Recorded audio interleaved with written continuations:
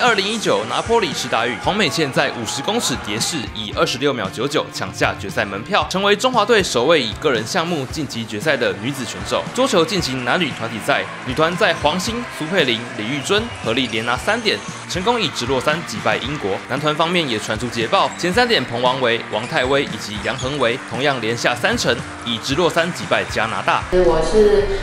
嗯，根据他们的一些之前的比赛经验，然后去做排点，那他们的表现也都让我蛮满意的。对，就是发挥的算正常。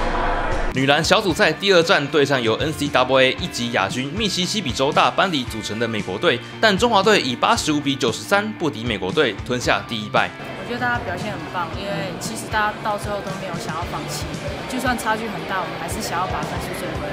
我觉得这是一个很棒的经验。柔道部分，男子九十公斤级以上的陈胜敏，以及女子七十公斤级以上的蔡嘉文，分别在第二轮及首轮不敌对手，进入败部复活赛，但最终仍无法晋级，无缘争夺奖牌。SSU 特派员李正颖综合报道。